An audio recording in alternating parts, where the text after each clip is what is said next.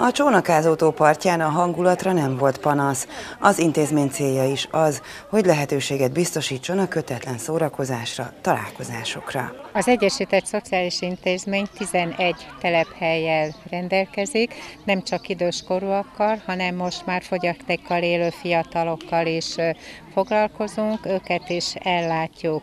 Ezeknek a találkozásoknak az a célja és szándéka, hogy ezek az intézmények ellátottjai és dolgozói találkozzanak egy kötetlenebb foglalkozás keretében, ahol jobban megismerhetik egymást, kicsit összeszoknak, összebarátkoznak, ami majd a későbbiekben megkönnyíti számukra a bentlakásos intézménybe való kerülésüket.